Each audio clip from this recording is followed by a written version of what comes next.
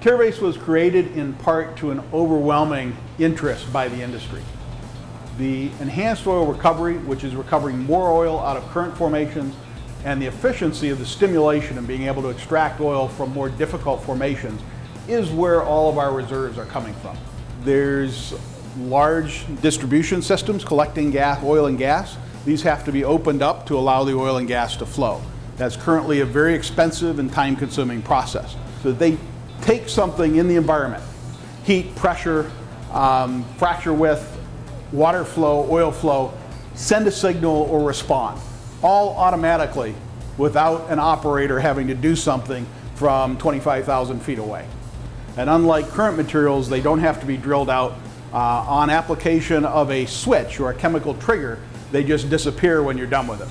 Using our technology bases in materials and manufacturing, we're able to help our customers, service completion and oil companies, do their operations more cost effectively, more efficiently, and with less environmental health and safety impacts. That's our mission.